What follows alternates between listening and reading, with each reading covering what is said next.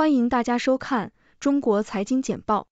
我们现在给大家播报的主要内容包括：中国的电动汽车电池制造商面临库存过剩和产能过剩的问题，因为汽车需求降温。新扩展的独自旅行者计划是什么？香港将如何受益？中国饮料巨头宗庆后去世，曾击败达能。随着公共支出超过收入，香港是否应该审查资金去向？请大家收看。中国的电动汽车电池制造商面临库存过剩和产能过剩的问题，因为汽车需求降温。南华早报，根据分析师的说法，中国的电动汽车 EV 电池市场面临产能过剩和价格战的问题，导致二三线制造商亏损。中国对 EV 的需求正在降温，导致库存清理。一些较小的制造商可能会被挤出市场，而较大的公司可能要等到二零二五年才能盈利。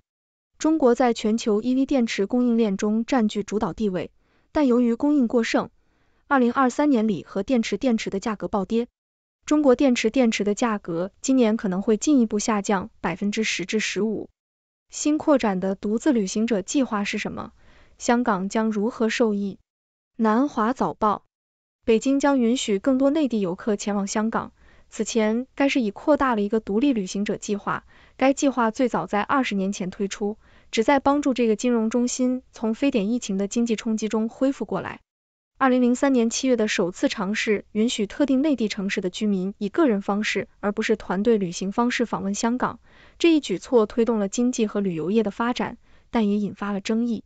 当局周五宣布，该计划将于三月六日再次扩大。首次允许青岛和西安的居民前往香港。本文将审视该计划的发展，并评估其是否会再次产生强大的经济影响。中国饮料巨头宗庆后去世，曾击败达能。彭博社，中国饮料品牌娃哈哈的创始人兼董事长宗庆后去世，享年七十九岁。宗庆后的一生与中国从贫穷的农业社会转变为世界第二大经济体的过程相似。一九七八年离开农村公社后，宗庆后于一九八七年接管了杭州的一家小店，并创立了娃哈哈，使他成为中国最富有的人之一。二零零七年，他与法国食品巨头达能发生争执，两家公司解散了长达十年的合作关系。最终，达能屈服，宗庆后于二零一二年成为中国最富有的人。然而，随着市场变化，公司的收入下降，随着公共支出超过收入。香港是否应该审查资金去向？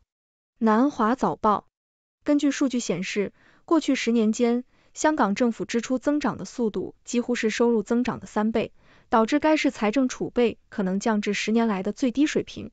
香港财政储备在二零一八至二零一九年达到了一点一七万亿港元，约合一千五百亿美元，预计到二零二三至二零二四年将缩减至约七千八百亿港元，相当于十二个月的支出。为了增加政府财政收入，财政司司长陈茂波透露，他将要求所有政府部门削减百分之一的支出，增加公共服务费，并通过加强与中东和东南亚国家联盟、东盟成员国的合作等方式扩大经济规模。一些补贴，包括统一交通费补贴，长期以来一直受到过于慷慨的批评。政府在社会福利、教育和医疗保健方面的支出总计约占经常性支出的百分之六十。各位观众，大家好，我是来自六度世界的六博士。今天给大家带来了几则有趣的新闻，让我们来一起看看。首先，我们了解到中国的电动汽车电池制造商面临库存过剩和产能过剩的问题。随着中国电动汽车需求的降温，市场上二三线制造商开始亏损，甚至有可能被挤出市场，而较大的公司也需要等到二零二五年才能盈利。虽然中国在全球电动汽车电池供应链中占据主导地位，但由于供应过剩，预计二零二三年锂电池和电池的价格会大幅下降。这对于消费者来说是个好消息，电动汽车的价格可能会进一步降低。另一方面，香港将受益于新扩展的独自旅行者计划。这个计划最早在二十年前推出，旨在帮助香港从非典疫情的经济冲击中恢复。计划允许内地游客以个人方式，而不是团队旅行方式访问香港，推动了经济和旅游业的发展。此次计划将再次扩大，首次允许青岛和西安的居民前往香港。我们将密切关注这个计划的发展，看看它是否会再次给香港带来强大的经济影响。接下来是一则关于中国饮料巨头宗庆后去世的消息。宗庆后是中国饮料品牌娃哈哈的创始人和董事长，他的一生经历了中国经济的巨大变革。宗庆后在一九八七年接管了一家小店，并创立了娃哈哈，使他成为中国最富有的人之一。他与法国食品巨头达能的争执成为了业界的佳话，最终宗庆后成功击败达能，成为中国最富有的人。然而，随着市场变化，娃哈哈的收入也开始下降。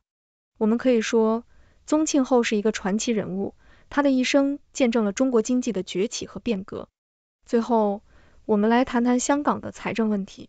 数据显示，香港政府的支出增长速度几乎是收入增长的三倍，导致财政储备可能降至十年来的最低水平。